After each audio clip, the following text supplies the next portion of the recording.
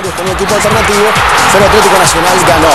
Víctor Hugo Aristizábal, hombre que no iba a festejar una vez sola, ¿eh? porque aquí a los 8 minutos del segundo tiempo, el mismo Aristizábal cerraba su cuenta personal y le daba el segundo Atlético Nacional frente a Millonarios en el estadio Atanasio Girardot.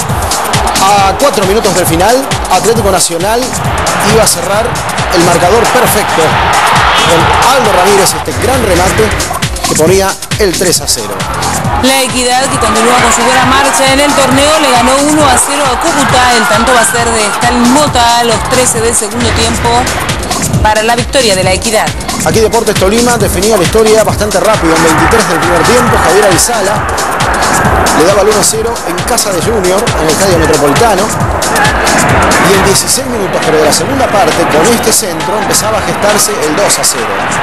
Y en los pies de Arizala, otra vez la definición. Hay un rebote así, lo toman la puerta del área chica y el partido prácticamente estaba definido.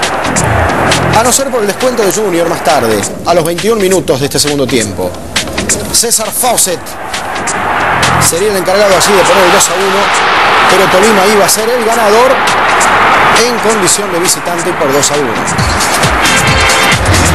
América de Cali continúa ratificando su alza en el torneo, se impuso 1 a 0 a Deportivo Pasto y con esta victoria llegó al quinto lugar en la tabla de posiciones. Luis Tejada va a convertir a los 26 del segundo tiempo el único gol del partido, el de la victoria para América de Cali ante los Pastusos. Gol de Chico para la victoria ante Once Caldas.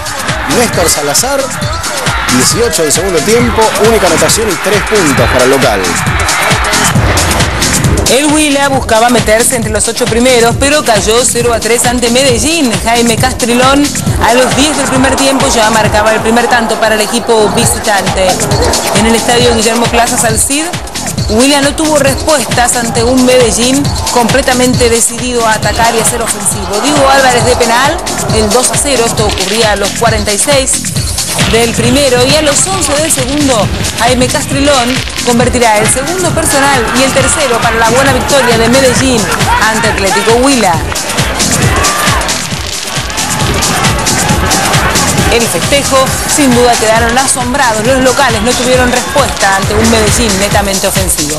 Gran partido de vuelta entre el Bucaramanga y el Quindío. Aquí Andrés Sarmiento establecía la apertura del marcador en 17 de la primera parte. Rafael Castillo para Quindío, encargado en 22 de cerrar el empate. Pero habría más por delante. Bucaramanga la respuesta al final del primer tiempo. Andrés Sarmiento y su tiro libre.